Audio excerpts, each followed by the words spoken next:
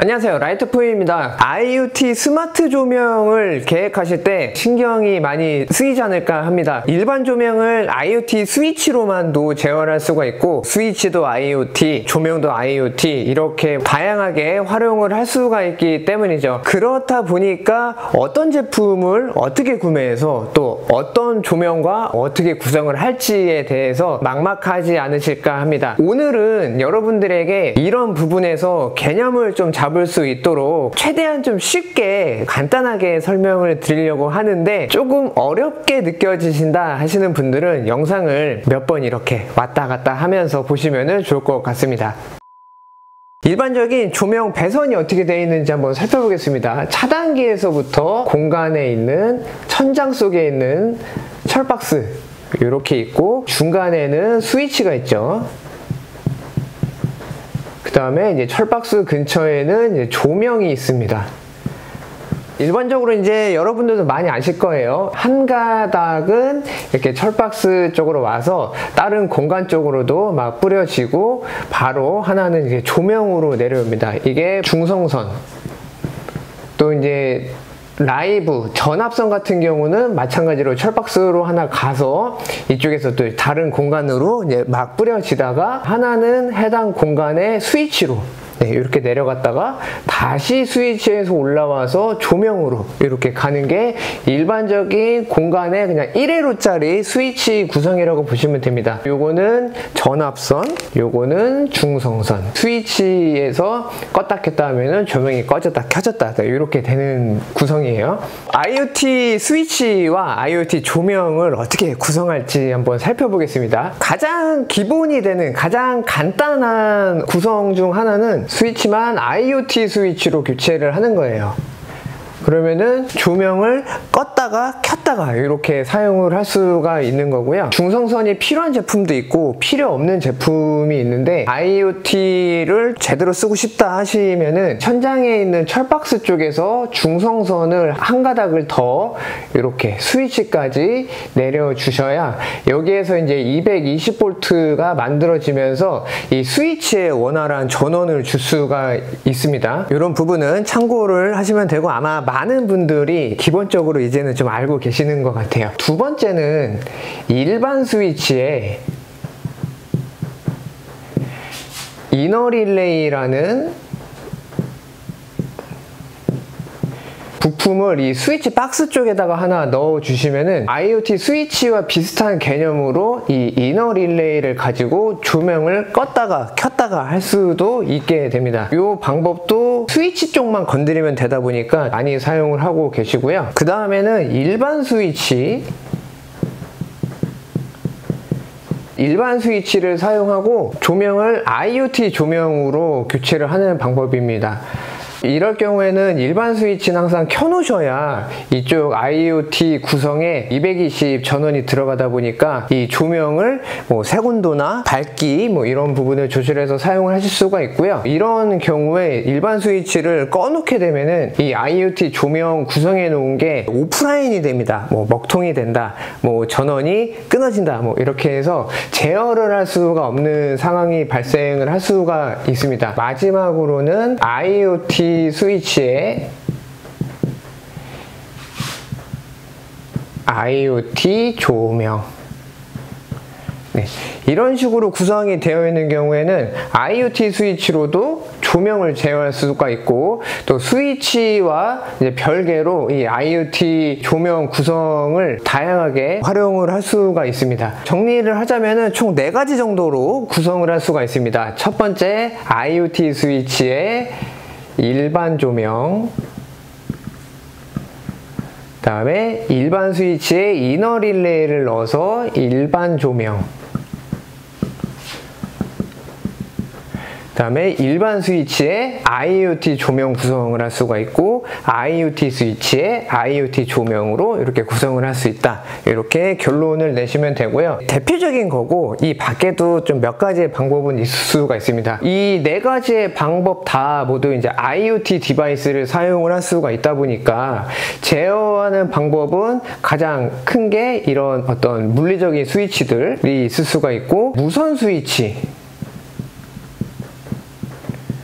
이런 벽면에 있는 다양한 device와 연동해서 사용을 하실 수가 있고요. 각종 센서류 연동을 해서 사용을 할 수가 있고 혹은 이제 스마트폰 네, 요거는 뭐 당연하겠죠. 음성 제어 음성 제어 같은 경우는 Google의 device들을 연동한 다음에 Google Assistant 앱을 깔아서도 사용을 할 수가 있고 Bixby나 뭐 Siri를 통해서 다양하게 활용을 할 수가 있겠죠. 근데 이런 기능들을 제대로 사용을 하려면은 반드시 해당 제조사의 허브라는 게 있어야지 됩니다. 이런 각종 device들과 연동을 하면서 어떤 명령을 내렸을 때 이 device들을 제어를 해준다. 이렇게 이렇게 보시면 됩니다. 간단하게 쓰고 싶다 하시면은 스위치만 교체해서 쓰시면 되고 다양하게 사용을 하시려면은 반드시 뭐 Aqara 허브나 뭐 SmartThings 허브나 이렇게 허브를 구매하셔야 이것저것 이 허브에다가 연결을 해놓고 완벽한 IoT 조명 구성을 할 수가 있으니까요. 이 내용은 이렇게 해서 정리를 해보면 됩니다. 각각 해당했던 그런 제품들까지는 말씀을 드리지가 않은 게 그 제품들마다 특성이 조금씩 다르다 보니까 그 제품까지 말씀드리면 너무 길어지기 때문이고 최근에는 많은 내용들이 올라와 있죠. 저희 라이트 포유에서도 또 올린 것도 있고 해서 각각의 제품들은 한 번씩 검색해 보면서 특성이 어떻게 되는지 한번 살펴보시면 좋을 것 같아요. 스위치와 조명을 어떤 식으로 사용할 건지 정하셨다면 한 공간에 배치해 놓은 조명들을 어떻게 그룹화시키고 그룹화된 조명을 또 어떤 제품들로 구성을 해야 되는지 한번 살펴보겠습니다. 이 부분이 중요한 이유는 전기 공사를 할 때 이 내용까지 정해져 있어야 원활한 공사를 할 수가 있기 때문이에요. 어떤 하나의 공간이 있다고 쳤을 때 스위치는 보통 이제 문 옆에 이렇게 자리를 잡게 이렇게 되죠. 다운라이트를 뭐 이렇게 3개 이렇게 3개 뭐 위치는 변경이 될 수가 있으니까 이거는 그냥 참고만 하시고 창가 쪽에 있는 간접 조명 네, 이렇게를 한번 예를 들어보겠습니다. 이렇게 3개를 한 그룹으로 잡고 이렇게 3개를 한 그룹으로 또 잡고 그 다음에 마지막에 이렇게 간접 조명이 한 그룹 이럴 경우는 그냥 스위치 3구로 작동되는 조명이라고 보시면 됩니다. 평면도에다가 이렇게 똑같이 그냥 그려보면서 구성을 한번 해보시면 편하거든요. 공간의 중간에는 이렇게 이제 철박스. 이 공간 외부에서 넘어오는 전선이 여기 들어와 있고 이쪽에서는 이 스위치랑 전선이 왔다 갔다 하고 여기에서 천장 밖으로 전선이 나와서 이 조명 쪽으로 가는 거라고 보시면 돼요. 이렇게 되어 있으면은 스위치는 3구짜리를 쓰셔야지 되겠죠? 철박스 쪽으로 전선이 총 4가닥이 하나는 전압선이죠. 그래서 스위치가 와서 여기에서 이렇게 두 가닥이 가고 여기로 이렇게 두 가닥 또 여기로 이렇게 두 가닥 이렇게 오는 식입니다. 이 배선 방법이 일반적인 전기 배선 방법이고요. 이럴 경우는 아까 말씀드렸듯이 스위치만 IoT로 교체를 하시면은 세 그룹의 조명을 각각 제어를 할 수가 있게 됩니다. 이너 릴레이를 넣어서도 이렇게 1번, 2번, 3번 뭐 3회로짜리 구성을 할 수도 있기는 한데 스위치 박스 안에 이너 릴레이가 보통은 두 개가 들어간 적은 없었던 것 같고 아마 안 들어갈 것 같아요. 그래서 릴레이가 만약에 뭐 3채널짜리가 있다 하시면은 그냥 릴레이를 하나만 넣어서 쓰실 수도 있고 그게 아니라면은 일반 스위치와 이너 릴레이 조합으로는 사용을 할 수가 없으니까요.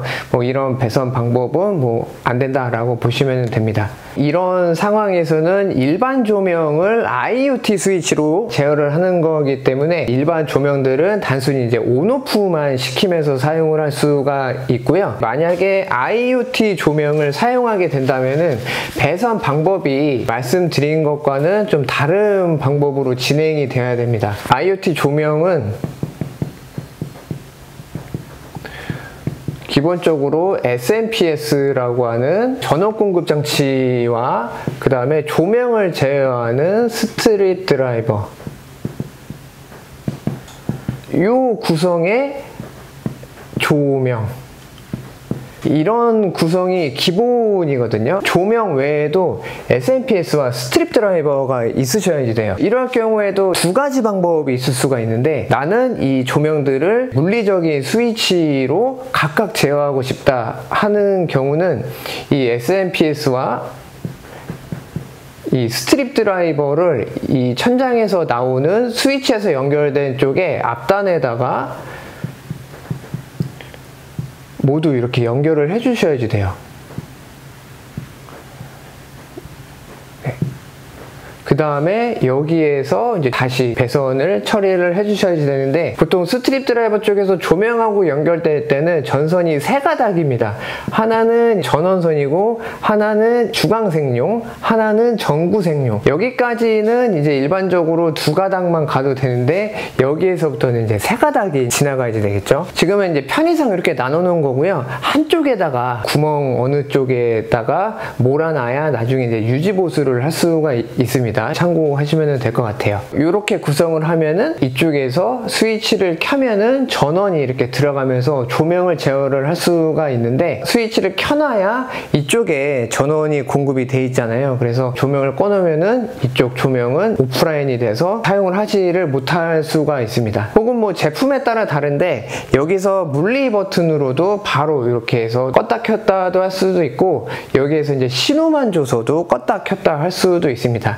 아니면은 뭐 배선 작업을 좀 더 쉽게 하려면은 여기에 나와 있는 전선이 몇 가닥이든 간에 그냥 하나로 묶어 놓으면은 이쪽에 이제 스위치와 상관없이 여기는 이제 상시 전원이 들어가다 보니까 다양하게 연동을 해서 사용을 할 수가 있고요. 이렇게 사용한다 하실 때 벽 스위치를 또 써야 되다 보니까 중성선을 내려서 전압선과 중성선으로 스위치에 전원을 공급을 해주셔야 됩니다. 이런 부분이 중요할 수가 있겠죠. 있겠죠. 이렇게 되면은 수량이 SMPS가 3개, 그 다음에 strip driver가 3개, 그냥 3채널. 그래서 뭐 Aqara꺼 같은 경우는 strip driver 하나가 2채널까지 지원을 하다 보니까 Aqara로 하실 때는 strip driver가 두 개 필요하고요. Zemismart 같은 단일 채널용으로 구매를 하시면은 strip driver가 세 개가 필요하게 됩니다. 그냥 나는 벽면에서 뭐 물리적으로 이 각각을 껐다 켰다 하기는 싫고 이 벽 스위치와 상관없이 뭐 스마트폰이나 센서류랑 연동을 해서 원할 때마다 이 스위치 그룹을 만 들고 싶다 하는 분들도 있으시거든요. 각각 사용할 수도 있고 1번하고 2번을 한 그룹하고 얘를 따로 혹은 1번, 3번 하나 얘 따로 혹은 이렇게 세 개를 같이 이렇게 사용할 수도 있는 방법이 있는데 이럴 경우에는 배선 방법이 요거랑 조금 달라집니다. 무조건 그래도 스위치는 있어야 되니까 철박스에서 이 스위치 쪽으로 중성선하고 전압선은 한 가닥씩 내려가서 220V를 만들 만들어 주셔야 되고요. 이쪽에서 상시 전원을 하나를 뽑아서 이쪽에다가 SMPS 하나, 뭐 예를 들어서 뭐 200W짜리를 하나를 해준 다음에 각각의 스트립 드라이버로 네, 전원을 네, 공급을 해준 다음에 여기에서 조명 쪽으로 세 가닥씩 나가는 방법이 있습니다.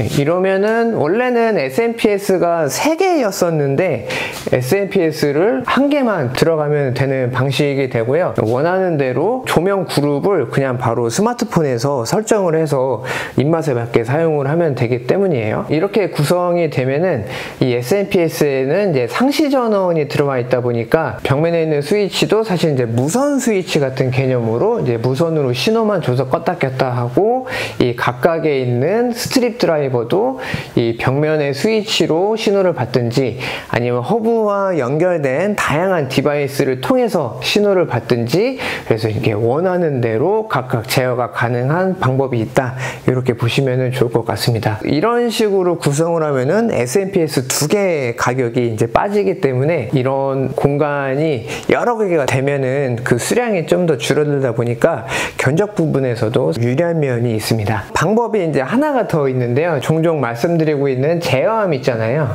네, 제어함. 이 제어함을 쓰게 되면은 또 배선 방법이 좀 더 달라집니다. 이 제어함이 이제 신발장 쪽이나 혹은 주방 쪽에 자리를 잡고 있고 제어함에서는 조명 쪽에 전원만 주면 되거든요. 1번 그룹으로 이렇게 어, 세 가닥이 하나가 오고 또 2번 그룹으로도 오고 3번 그룹으로도 이렇게 조명의 전원만 보내주고 이 제어함 쪽에 SMPS와 스트립 드라이버가 자리를 잡다 보니까 IoT 조명을 제어하는 거는 말씀드린 어, 이런 여러 가지의 방법들과 똑같습니다. 대신에 이제 배선은 훨씬 네, 쉬워지죠. 그냥 제어함에서부터 이 조명 그룹까지만 그냥 전원선만 날려주면 되기 때문이에요. 이런 경우에도 스위치 쪽으로는 전압선과 중성선을 내려줘서 이쪽에 있는 스위치는 그냥 무선으로 신호만 줄 수 있는 그런 형태로 구성을 해볼 수가 있습니다. 무선 스위치 하나를 놓고 사용하면은 뭐 침대에 누워 있을 때에도 침대 옆에 협탁 위에 스위치 올려놓고 사용을 하면 되니까 참로 같은 개념으로 들어올 때 켜고 누워서 끄고 일어나서 켜고 나갈 때 끄고 이런 식으로 또, 또 사용을 할 수가 있어요. 완벽한 IoT 조명 시스템이라는 거는 이런 뭐 무선 스위치 같은 경우도 여러 개를 원하는 데다가 놓고 사용하면서 조명의 일정 그룹들도 다 섞어가면서 사용을 할 수가 있다라는 점이 일반 조명 공사와 가장 좀 차별화되는 내용이 아닐까 합니다. 이렇게 IoT 스위치, IoT 조명을 어떤 식으로 선택을 하고 어떤 식으로 좀 구성을 해야 될지 간단하게 살펴봤습니다. 안내해드린 내용을 기초로 어떻게 구성할지 생각해 보시면은 좀 더 쉽게 접근을 하실 수 있지 않을까 하고요. 이런 방법까지 다 구성이 되면은 전기공사 업체에 일을 의뢰를 할 때도 의사소통하기가 편하니까 어렵지 않고 쉽게 인테리어를 진행을 할 수가 있습니다. 영상을 보시고 좀 궁금하다, 잘 이해가 되지 않는다 이러신 분들은 댓글 남겨주시면 확인해 드리도록 하고요. 자, 오늘 준비한 영상은 여기까지고요. 저는 다음 영상으로 인사드리도록 하겠습니다. 라이트포유 채널 구독과 좋아요 부탁드립니다. 감사합니다.